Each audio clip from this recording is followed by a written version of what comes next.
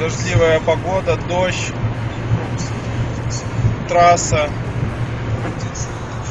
скорость небольшая, приблизительно порядка 120 130 километров.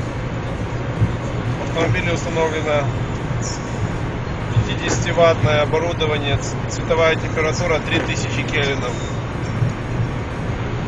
Как раз э, целенаправленно, целенаправленно устанавливалась данная температура для езды в, э, дождливую, дождливую погоду, пасмурную.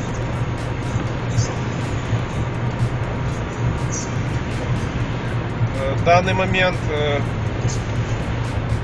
то, что вы видите, результат достаточно качественное освещение, хорошо подсвечиваются знаки, разметка, комфортная езда, вот результат трехтысячного трехтысячного ксенона.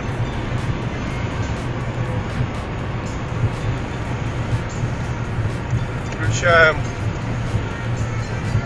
противотуманные фары. К сожалению, он сейчас уже прогрелся, вот он 6000 кельвинов. Вот у нас появляется наш трехтысячный.